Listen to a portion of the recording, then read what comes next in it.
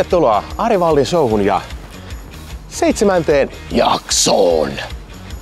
It's rock and roll time.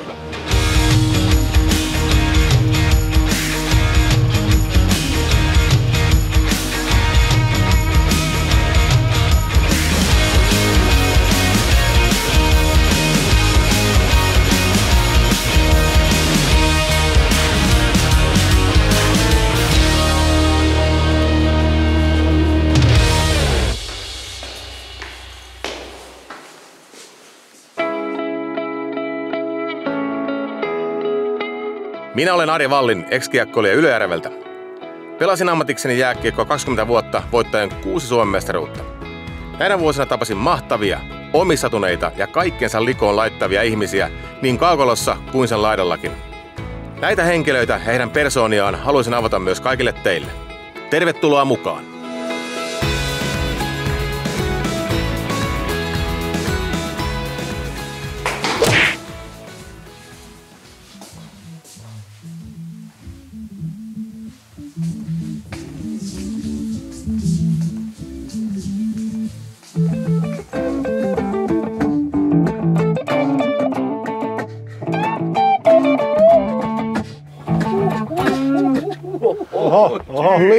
Mitäs rokkijätkiä täällä on? Nyt tuli solisti paikalle. Hei, etittekö vahvistuksia? Laulaa puuttuu. Laulaa ja puuttuu, no niin. Mulla pysyy kyllä soittimekin kädessä, mutta pystyy laulaa. Mä pystyn jungaa. Onks rytmimuna messissä? Rytmimuna on messissä. Aina. Joo. Just look at me. That's my middle name. ei muuta kuin Rane, soita betonia. Pitäis skittailu soittaa betonia.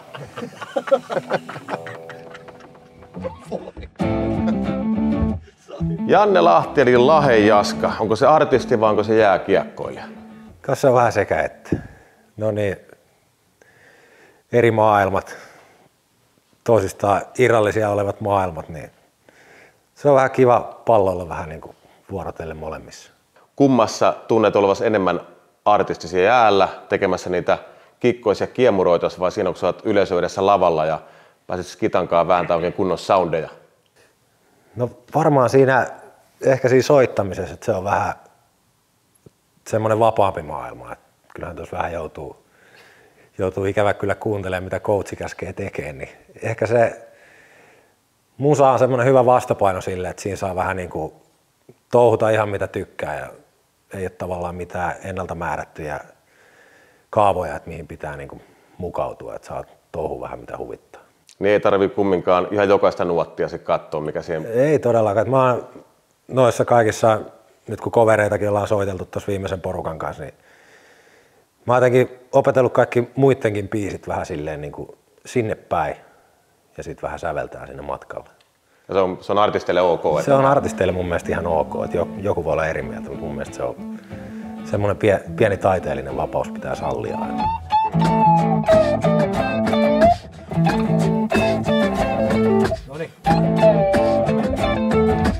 Mistä mä laulan tänään? Arska tuli taloon. Sä homman uuteen valoon.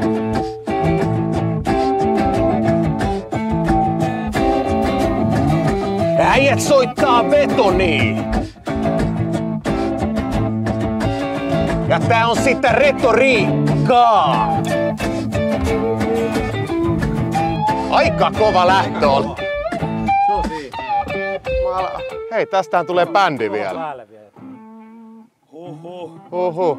Kuumahan täällä on. Missä tää musiikki-innostus on lähtenyt?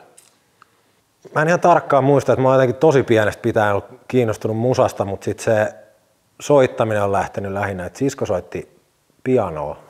Sitä mä rämpyttelin vähän yhdellä kädellä, en, en osaa juurikaan soittaa pianoa, mutta sille, että niin otin melodioita vähän haltuun. Just jotain virsiä, mitä koulussa laulettiin, niin sitten mä menin kotiin ja opettelin melodia pianolla. Ja Eno soitti kitaraa ja laulo. Sitten mä rämpyttelin vähän kitaraa, en osannut sitäkään niin ollenkaan, mutta jotenkin se oli siinä niin kuin läsnä ja enemmän se oli semmoista musan kuuntelua sitten niin kuin sinne johonkin 14-vuotiaaksi asti varmaan. Sitten mä pyysin rumpuja.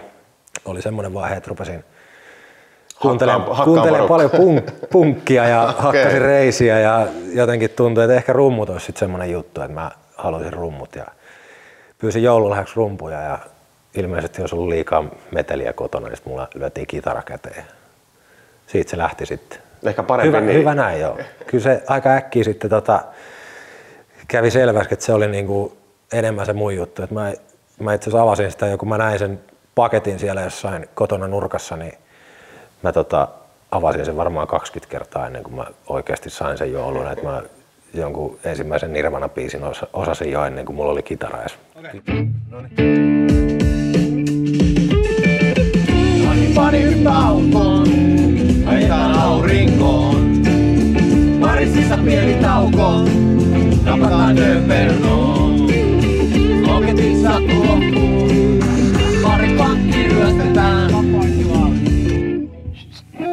Lisää muna. Tästä puuttuu muna. Muna puuttuu. Muna. Mulla on rytmimuna. No niin, No niin, pa mene. uudestaan. Okei. Spin that shit! Ani pani hyppää autoon, ajetaan aurinkoon. Marississa pieni tauko, napataan Döpernoon. Loketin sattu loppuun.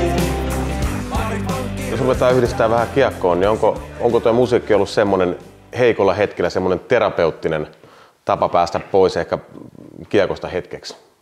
Ehkä silloin, kun on urheilullisesti vähän vaikeaa, niin tuntuu, että sinne niin kuin vähän hakeutuu entistä enemmän sinne autotalliin touhuille muita juttuja. Kumminkin Suomen mestaruus ja maailmanmestaruus, niin mitä, tota, minkälaisia tavoitteita Lahi Jaskala vielä on kiekkoilijana? Kyllä mun päätavoite on se, että kerho pärjää. Se on päätavoite mun uralla, että kerho menee pitkälle. Onko sä vielä maalaillut semmoisia kuvia, että kuinka pitkään vielä miehen pitäisi pelata vai onko se ihan niin kuin kausi kerrallaan vai onko siinä semmoisia jotain, että tonne asti olisi kiva ja kokee vielä jotain tämmöisiä hommia ja lähtee kenties vielä kerran käymään ulkomailla jossain vai veikö sä ihan, niin kuin, ihan hetkessä?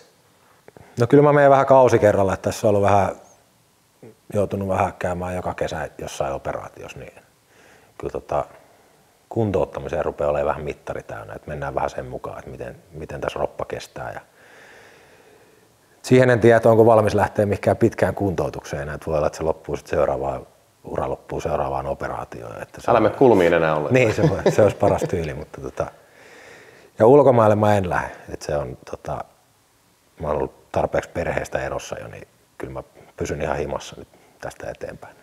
Sulla on erittäin maalirikkaita ja hyviä kausia. Se puhutaan niin joukkueen menestyksen, mikä tuntuu, mikä on semmoinen tunne, että missä, missä tota vaiheessa uraansa herra Lahti on ollut parhaimmillaan. No kyllä mä jokereissa varmaan olin parhaimmillaan. Että se, siinä oli, oli pitkä jakso, kun mä olin ehjänä, se oli silleen niin kuin itselle tosi mielekästä, pysty harjoittelemaan niin kuin todella kovaa ja se on mua aina vähän häirinnöissä vammoissa ehkä eniten se, että joutuu vähän jarruttelemaan, niin mulla on vähän lähtenyt mielenkiinto aina, aina sitten tuota touhua kohtaan, että jos ei kuin ihan, ihan satalasessa pysty, pysty kuin päivästä toiseen yrittää kehittää itteensä ja yrittää olla parhaimmillaan, niin tuo homma menee ikään kuin vähän tylsäksi siinä vaiheessa. Mutta silloin oli pitkä jakso, kun oli terveenä ja, ja just ennen sitä oli sitten taas niin kuin tosi pahoja vammoja, pitkät nilkkaoperaatiot, niin oli semmoinen niin hyvä drive siinä, että oli tosi innoissaan siitä, että oli, oli terveenä ja homma toimii. ja- Homma toimii. ja Varmaan oli siinä parhaassa iässä silloin. Pari pankki ryöstetään. Nopea elämämme loppuu, toisiamme työtetään.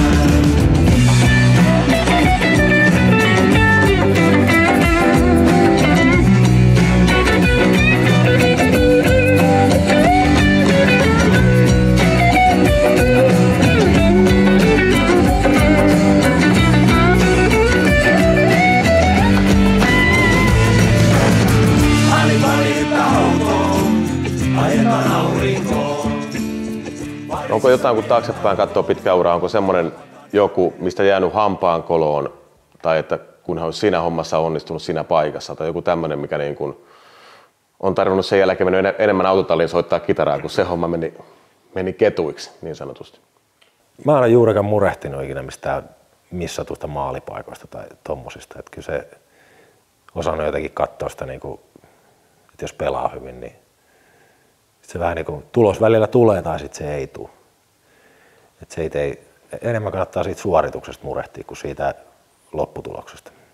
No onko semmoinen, onko semmoinen joku paikka, missä tuntuu, että, että olisi ollut enemmän annettavaa, että se kroppa oli silloinkin ihan ok, mutta jotenkin se homma niin kuin ei lähtenyt niin kuin siihen liikkeelle, mikä se olisi voinut niin kuin olla? Raumalla toi jakso, niin mua jäi harmittaa. Tosiaan meillä oli, meidän poitsun kanssa oli aika paljon ongelmia silloin, että ei, ei hirveästi nukuttu siinä kahteen vuoteen. Et, et se oli, siinä oli niin kuin, joukkuessa oli hälyttömän hyvä henki. Et se oli tavallaan semmoinen, että siinä niin jakso järjessään jotenkin, että kun palvoi sen pari vuotta siinä.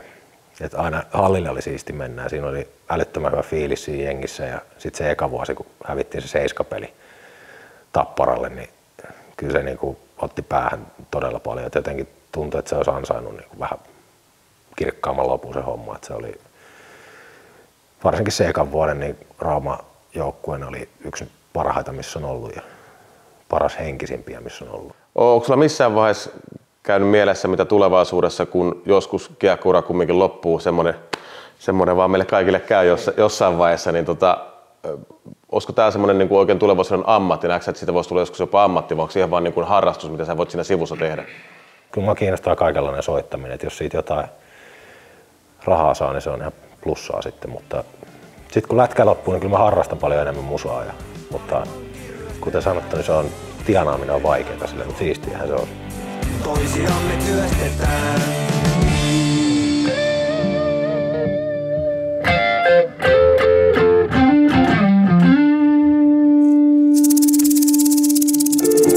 Kalkkarokäärme siihen loppuun.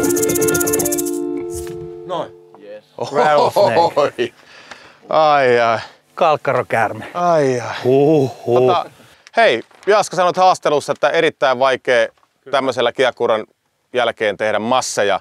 Ja tämä loppu, loppupääni tänne Jykä ja Rane harjoittelee vielä seuraavaa biisiä, niin lähes mun, mun mukaan, niin käydään tekemään vähän massi. No ilman muuta, jos massia, massia on luvassa. niin. Kiekko oli huono palkka kumminkin, niin, no. pakko jostain saada rahaa. Me, me jäädään treenaa vielä. Jääkä te, teillä on vähän vielä haukussa. Vähän vielä haussa niin. tää homma, mutta tota... Mut okay. Kiitoksia, että pääsin käymään. Hei. No, no todellakin, hei. No, joo. Kiitoksia. No. Mestari on mestari ihan sama missä se on. niin laji kuin laji. No, laji kuin laji, sieltä lähtee. Tämmöistä paikkaa ajattelin, miltä näyttää. No, saisi ehkä vähän isompi olla, mutta eiköhän tää mene. Mä haluan tämmönen hyvä, hyvä aloituspaikka. Tuossa on tota paljon joulumieltä ja ajattelin lähdetään muutaman joululaululla ottaa helpot massit pois. No, niin, mennään tällä. Mennään tonne.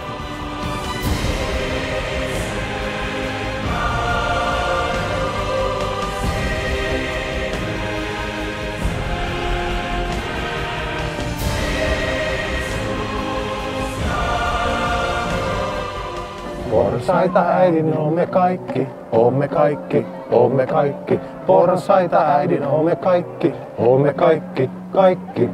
Jaskaa ja arskaa, jaskaa ja arskaa. Porsaita äidin oomme kaikki, oomme kaikki, oomme kaikki. Porsaita äidin oomme kaikki, oomme kaikki, kaikki. Hyviän täällä on porukkaa. Porukka kerääntyy oikein katsoa, kohta alkaa massit virtailemaan. Niin mä luulen. Ota seuraava joku menevämpi. Otetaanko, joul, otetaanko joulupukki? Mitä se isä, isä antaa olla selkeä? Mitä se menee? Jääpä tänne, me pelkää. Joulupukki, joulupukki, valkopartaa, vanha ukki. Käypä tänne, emme pelkää, ei kun, antaa Ei kun se on se, on väärä versio. Ei kun jotain erilainen se vähän meni, mutta se... Joulupukki, joulupukki, valkopartaa, vanha ukki, ei tänne Mitä sinne meni? Tää on vaikeeta tää tämmönen... Otan tossa, kun tossa se näkyy nyt, niin voidaan sillä vetää. Oothan meille vanha tuttu, puukalakki, karvanuttu. Täällä myöskin kiltit lapset, kirkas silmä, silkohapset. Tuo oli aika kova. Se oli, se oli kova. Tuo oli aika kova. Ja lunta tulvillaan on raikas talvisää. Ei liinakkommekaan nyt enää tallin jää. Sen kohta paljastan reen pienen eteen. Ja sitten joutuin matkaahan me käymme riemuiten. Kulkuset, kulkuset, riemuun herkkäilee. Talven valkohiutaleet, ne kilvan leijailee. Hei, kulkuset, kulkuset, kilvan herkkäilee. Talven valkohiutaleet, ne kilvan leijailee. Joulu on taas, joulu on taas, kattilat täynnä puuroa. Joulu on taas, joulu on taas, kattilat täynnä puuroa. Nyt sitä saa, nyt sitä saa, vatsansa täyteen puuroa. Nyt sitä saa, nyt sitä saa, vatsansa täyteen puuroa. Hei, vielä, tää on hyvä, tää on hyvä. Tää tulee, tää tulee massi. Luntaa tulvillaan, on raikas talvisää. Kyllä mä luulen, että tää oli nyt tässä. Et usko enää tähän. Ei jumalauta.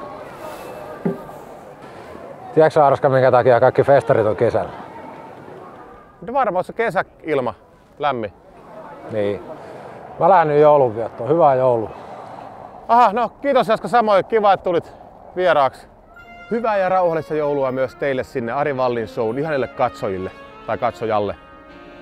Nähdään taas ensi vuonna uusin kujeen. Olkaa kilttejä. The snow is falling on this Christmas Eve, and little stars light up the night. Who could want to be anywhere